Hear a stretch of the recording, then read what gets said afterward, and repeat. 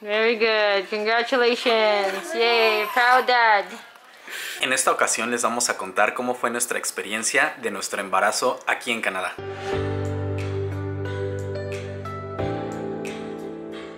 Para aquellos que no sepan, nosotros llegamos en julio del 2019, con vísperas de obtener la residencia permanente. Afortunadamente, gracias a la vida y gracias a Dios, pudimos conseguir la aprobación del PNP, el cual nos permitió poder tener acceso a la residencia permanente. Si bien aún todavía no tenemos la residencia permanente, ya tenemos aprobado el PNP, lo cual nos va a permitir tener acceso a ella misma. El tener un estatus más estable aquí en Canadá nos permitió tener la seguridad de poder planear lo que teníamos inicialmente cuando nos venimos a Canadá, que era iniciar la familia. Una vez que nos aprobaron este PNP, decidimos embarazarnos. En la semana 4 nosotros tomamos la decisión y buscamos una clínica para que nos dieran seguimiento a lo del embarazo después de haber tenido una prueba positiva.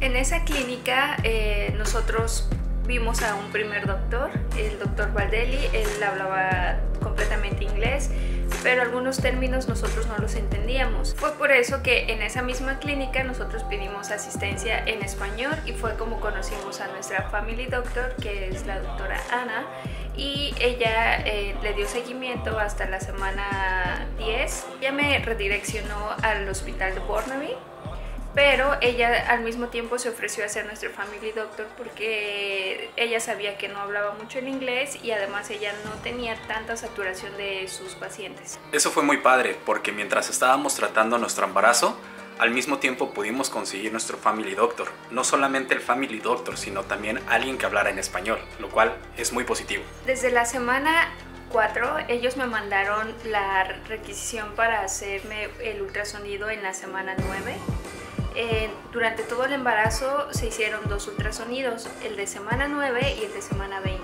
A partir de la semana 15 mis consultas empezaron a ser en el hospital Burnaby.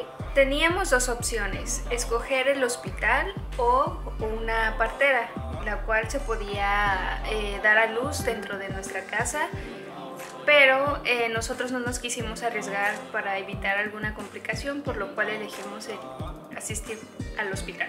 Ya saben, eso que de repente la partera en la casa no tuviera los instrumentos necesarios para poder dar a luz y que al final del día tuviéramos que ir directamente al hospital. ¿Cuál era la desventaja? Que solamente podemos escoger uno de estos dos servicios por lo cual elegimos lo del hospital para evitar cualquier riesgo, tanto que pusiera en riesgo nuestra vida del bebé como la mía. Una vez que se me redireccionó al hospital, mis consultas eran mensuales en esas consultas eh, se me ofreció el servicio de darme un traductor en cada sesión para evitar cualquier confusión, ya que los doctores necesitaban tener muy bien eh, la información clara y precisa de cuáles eran mis antecedentes de salud para poder evitar cualquier problema durante el parto.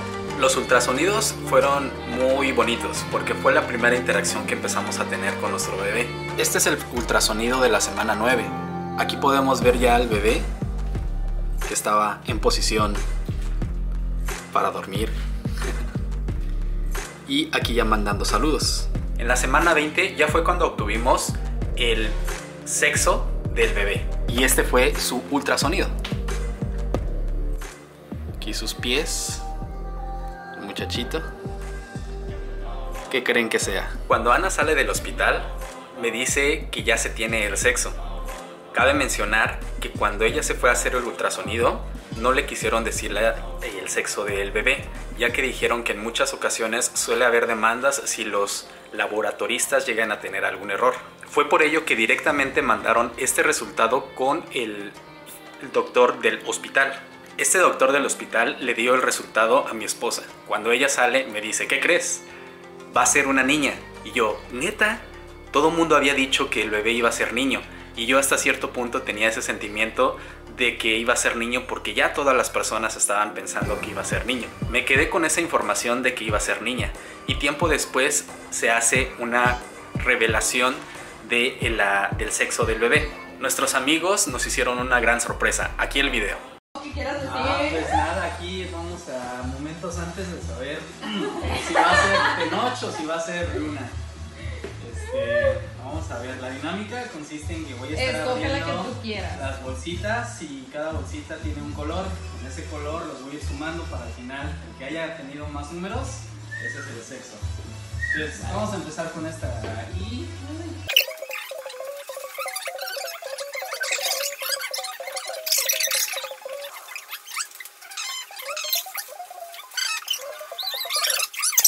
Inga tu mal al inicio. Ok. Ok. Bueno, esta ya Esta es la definitiva. Rosa. Ya te venía el calor.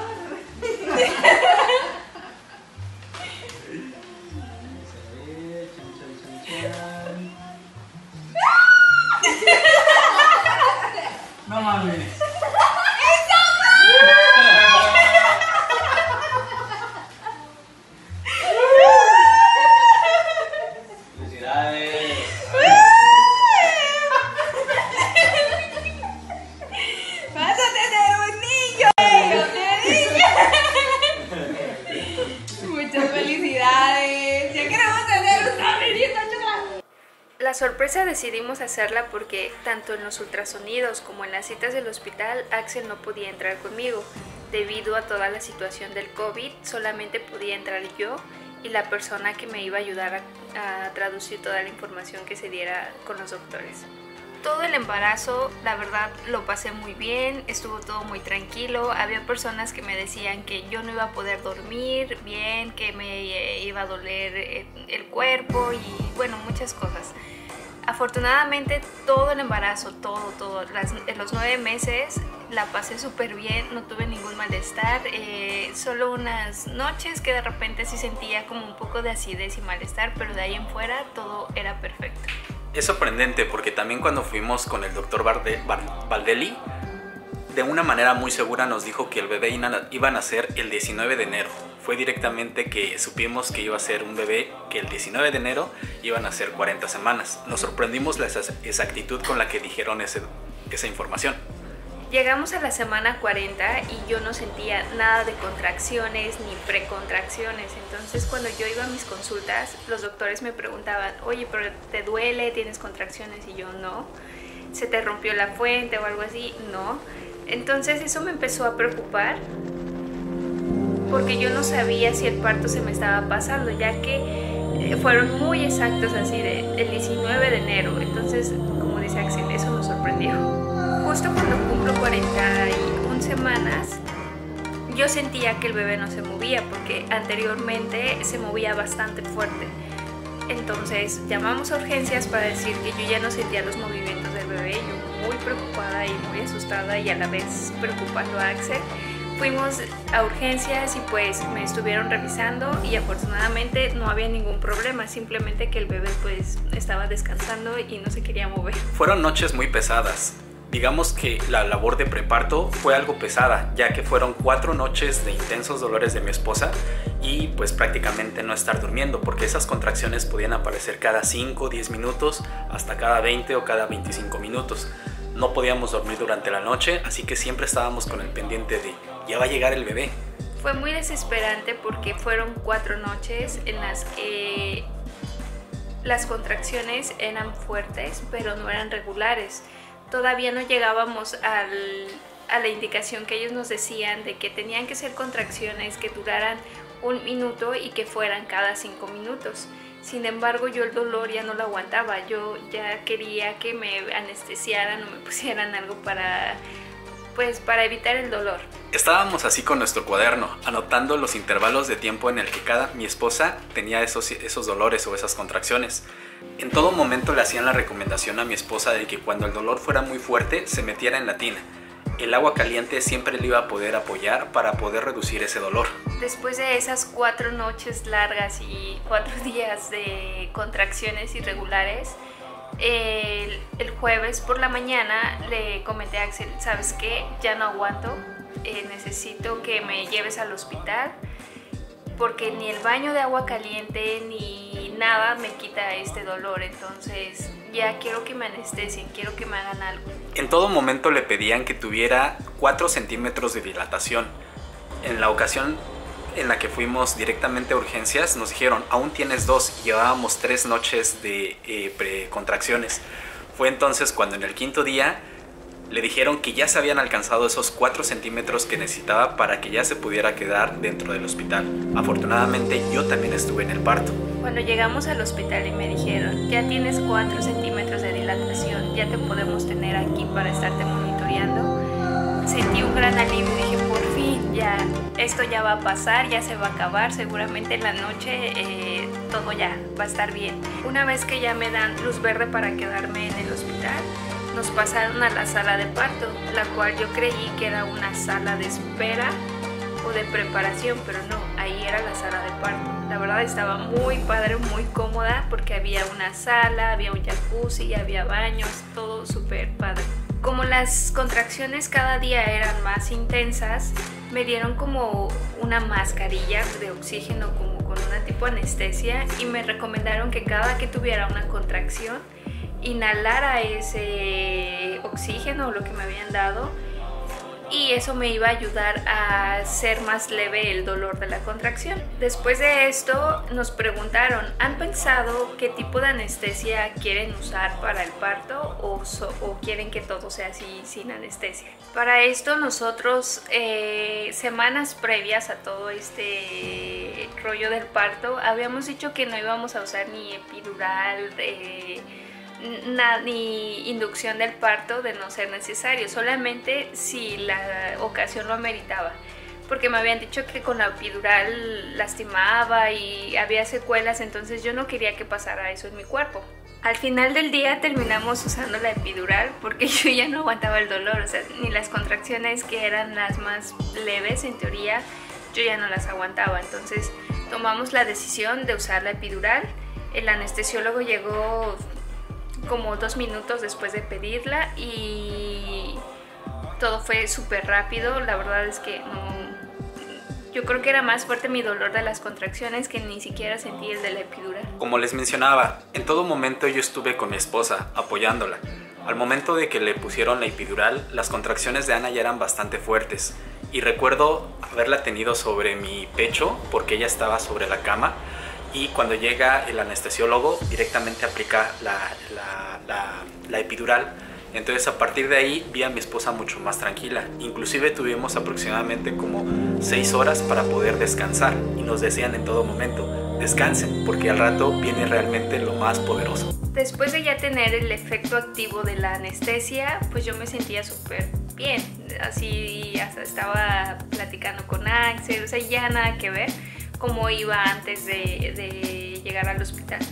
Yo estaba contenta, estaba muy feliz porque dije, oh, qué padre es esto de la anestesia, ya no me va a doler nada, ¿no? Todo va a ser súper fluido, ya nada más hay que esperar a llegar a la dilatación 10. Como eso de las 3 de la tarde dijeron, ya estás en 6, entonces puede que en unas horas ya estés en dilatación 10. Hubo un momento en el que ilusamente llegamos a pensar que el bebé inclusive hasta se iba a, hacer, se iba a salir como una resbaladilla que ya a través de la anestesia y a través de la dilatación ya habíamos conseguido la parte más difícil. En esos momentos, antes de llegar al parto activo, ya habíamos alcanzado los 7 centímetros de dilatación. Todo esto que les estamos platicando desde la llegada al hospital fue como eso de las 9 de la mañana. Todo este proceso lo empezamos a las 9 de la mañana en el hospital y terminamos prácticamente a la 1 de la mañana eh, con el labor de parto. A las nueve y media de la noche la doctora fue a revisarme y me dijo, ok, vamos a esperar media hora para ver si el bebé sale solo. Yo entendí eso, por lo cual creímos que por eso iba a salir como resbaladilla, porque ya teníamos los 10 centímetros de dilatación y pues ella comentó eso y yo creí eso, porque no sé, ahí estaba yo prácticamente nueva en toda esta situación. La, fue la doctora Jipola la que nos apoyó en todo momento. Ella fue como la doctora que encabezaba directamente y organizaba a todas las enfermeras.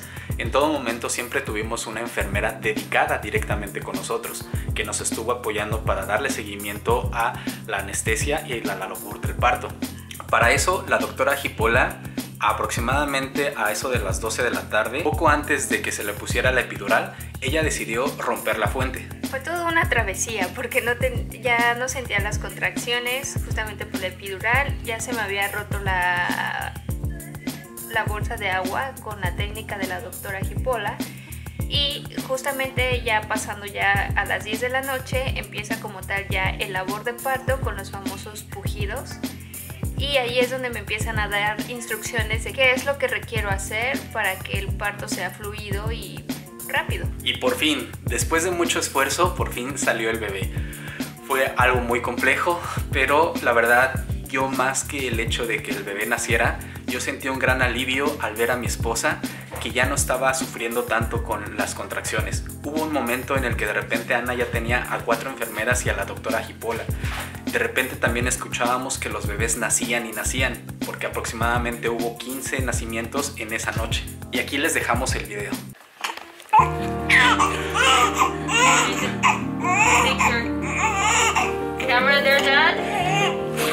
So can, uh, you can uh, cut the cord, you'll just have to uh, sanitize after.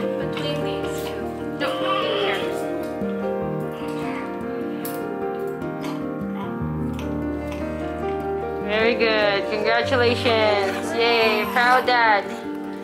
There we go.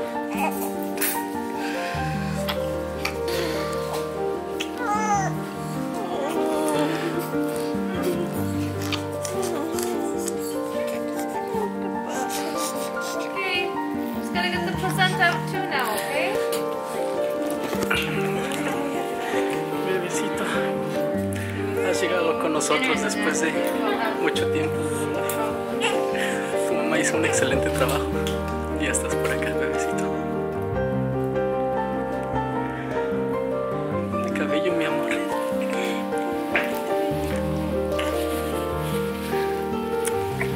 Hello. Hello, everybody.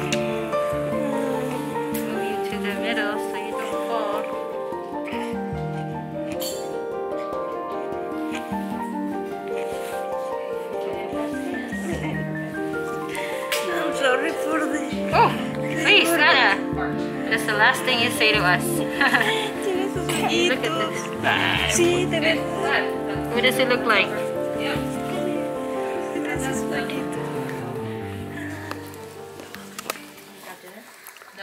Nos sentimos muy contentos con el nacimiento de nuestro bebé. Definitivamente es algo que ha cambiado nuestra forma de vida. La primera semana hasta ahorita ha sido la más compleja, ya que el bebé a cada ratito estaba llorando y nos estábamos acoplando a sus tiempos. Algo que podemos decir fue que después del nacimiento recibimos como un curso de cómo atender las necesidades básicas. En todo momento me estuvieron involucrando a, a- a mí como padre para poder hacer el cambiado de los pañales, para poder eh, limpiarlo y para poder hacer una segunda mano a mi esposa. Eso está muy chido porque de alguna manera involucran al papá para poder ser una segunda mano muy fuerte de la mamá, ya que como saben muchos inmigrantes vienen aquí siendo nada más eh, una familia de dos y lo que son las mamás, los padres, eh, los tíos, las tías, pues no se cuentan eh, para poder auxiliar a la familia. Con toda esta situación del COVID, muchas cosas cambiaron tanto para nosotros como las normas para que la gente pudiera entrar a Canadá. Nosotros solicitamos un permiso para que mi mamá pudiera venir, sin embargo, con todas estas nuevas medidas y el cierre de fronteras, se nos negó para que ella pudiera entrar. Como saben, solamente los turistas podían viajar hasta hace unas semanas, pero eh, había unas excepciones de viaje, lo cuales consistía en que el hospital directamente tenía que hacer una carta donde dijera al gobierno que necesitaba apoyo eh, esta Ana para poder eh, tener al bebé y para poderlo cuidar. La carta la obtuvimos, mandamos directamente al gobierno, pero el gobierno lo rechazó en dos ocasiones, por lo tanto no pudimos hacer que solamente una de nuestras madres pudiera venir. De momento, hasta ahorita hemos podido sacar las cosas juntos, ha sido un trabajo en mucho equipo, pero estamos deseosos de que puedan venir pronto nuestros familiares a poder conocer al bebé o que nosotros podamos regresar a México. ¿Cuáles podrían ser nuestras recomendaciones para ustedes que planean tener una familia aquí en Canadá? Contar con el MSP definitivamente ayuda bastante no hay que estar pagando. A nosotros el seguro de la provincia nos cubrió el parto, ultrasonidos, estudios de sangre y todas las, eh, las tres citas que hicimos o las tres idas a urgencias que hicimos al hospital. En cuanto a los medicamentos, eh, no tuvimos que pagar el 100%, esto porque el seguro que tiene Axel en su trabajo de gastos mayores cubría el 80%. Recuerden que eh, al estar aquí en Canadá, en British Columbia, existen dos tipos de seguros. El seguro básico que es el MSP y el seguro extendido que es directamente el que te da la empresa donde trabajas o alguno que puedas contratar. En este caso, mi empresa me da el seguro extendido y nos absorbe aproximadamente un 70-80% en medicamentos, por lo cual fue un gran alivio poder pagar menos de, lo, de la cuenta. Otra recomendación es que si tú planeas tener una familia aquí, eh, te informes bien, puedes contratar un seguro privado que pueda cubrirlo si tu estatus aún no es el adecuado para recibir si estás como turista, no hay algún seguro que pueda cubrir el embarazo. Vas a realizar el pago en efectivo. Este pago aproximadamente son de 4 a 5 mil dólares canadienses si se hace por parto natural o de 15 mil a 20 mil dólares canadienses si se hace una cesárea. También hay asociaciones que pueden apoyar al inmigrante que está como estatus ilegal, no como turista, sino como estatus ilegal. Y estas tienen también atención en español. Una de ellas es Umbrella y el otro es Rich Clinic en New Westminster. Una vez que tu bebé nace, te van a dar una hoja. Esa hoja contiene un código. Ese código es directamente el MSP de tu bebé. Ese MSP lo vas a registrar en línea. Una vez que lo registras en línea, va a ser para que lo enroles en tres programas. Uno es el Child Benefit, cual te van a dar un apoyo económico si cumples con los requisitos de un sueldo no mayor a tanto para que puedas recibir esa ayuda económica cada mes. Dos, directamente lo enrolas a el acta de nacimiento. Su acta de nacimiento realmente está muy bonita, nos llega directamente por mail y ya se la estaremos compartiendo más adelante. Y el tercero es el SIN, el Social Insurance Number.